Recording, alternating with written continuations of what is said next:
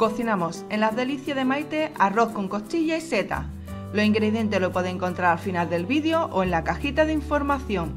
No olvides después de ver el vídeo darle a me gusta, suscribirte y darle a la campanita para no perderte ninguna de mis recetas. Hemos pelado, lavado y troceado las verduras, el pimiento, el ajo y el tomate. Lo hemos puesto en una sartén con un chorreón de aceite y lo vamos a sofreír. Cuando las verduras están hechas, lo ponemos en el vaso de la batidora con el vaso de vino y batimos.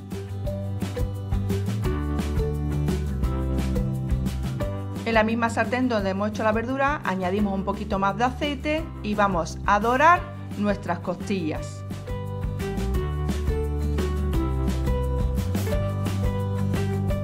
Cuando las costillas estén doradas, añadimos las setas troceadas.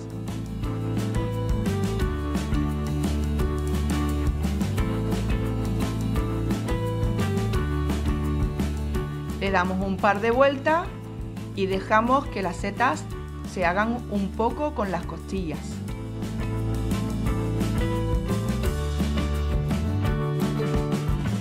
Le ponemos un poquito de sal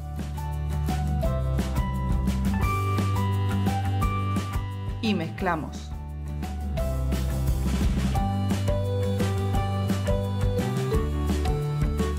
Le añadimos la hoja de laurel, el arroz y le damos un par de vueltas para que vaya cogiendo el arroz los sabores.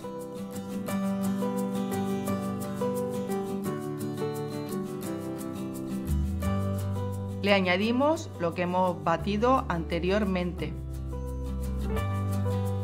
y lo mezclamos. Le ponemos el colorante alimenticio, el pimentón dulce, un poquito más de sal y volvemos a mezclar. Añadimos el caldo y ahí le pondremos más o menos según nos guste más seco o más jugoso. Cuando hierva probamos de sal y dejamos que se termine de hacer.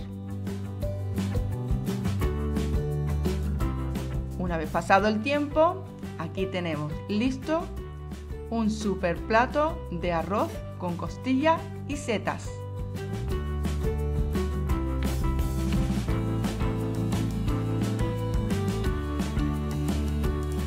Aquí tenéis los ingredientes para poder hacer este arroz con costilla y seta.